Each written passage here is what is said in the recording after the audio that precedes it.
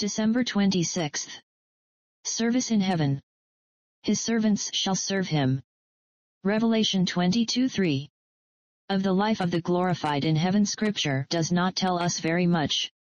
And not a little of what it does tell is poetically and imaginatively described. There is, for instance, the familiar figure of the harp in the hands of the redeemed. It is easy to make a joke of that and so to turn beatitude to ridicule. But what scripture is trying to convey is that in heaven utterance shall be music, and therefore self-expression shall be perfect. Music can say what speech can never say. It is more subtle and delicate than speech. It voices the deeper yearnings of the soul in ways that words are powerless to do. And if the utterance of heaven is to be music, then self-expression will be perfect there, and the loneliness of personality will be gone. Here we are all lonely. We long to express ourselves and cannot.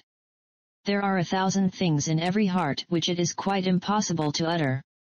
And the mystical meaning of the harp in heaven is not only that praise will echo there, but that at last we shall be no more lonely, but be in perfect accord with each other.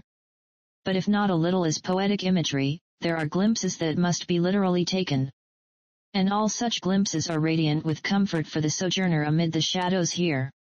We read that in heaven there shall be no temple, for worship and being will be coextensive. We are told that there are many mansions, for individuality will be preserved. We are assured there will be a place prepared, just as here there was a place prepared when the cradle was ready and the little garments and the nurture of the mother's breast. We do not need to translate these into prose like the harp under the fingers of the glorified.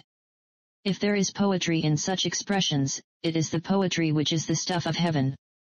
And so the words which form our text yield their comfort when they are taken literally his servant shall serve him, in heaven there will be continuity.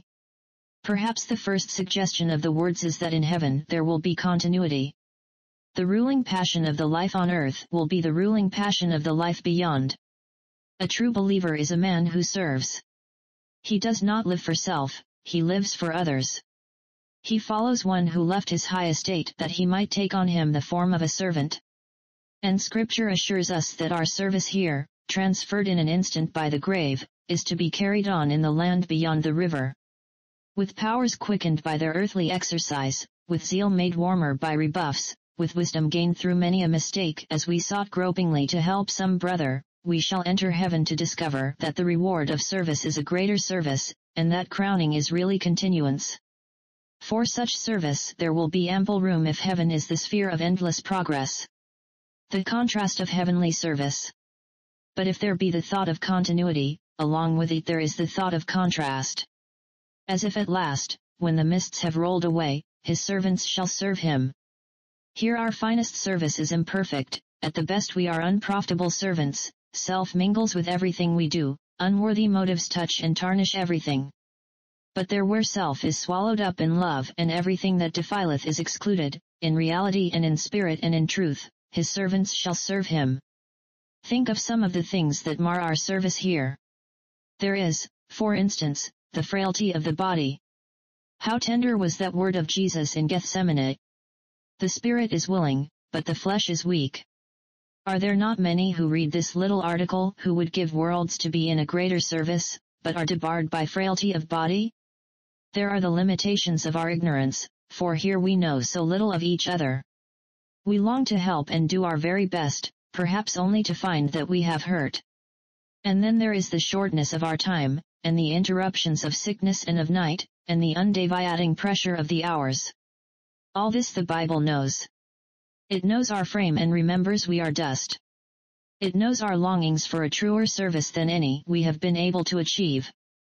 And then, when heart and flesh are failing and we lament the little we have done, it opens the lattice of heaven for an instant and says, His servants shall serve him. There shall be no more night. There the limits of time shall all have vanished. There we shall never misinterpret anybody, for we shall know even as we are known. With motives undefiled, with knowledge perfected, with the tireless zest of the eternal morning, at last his servants shall serve him.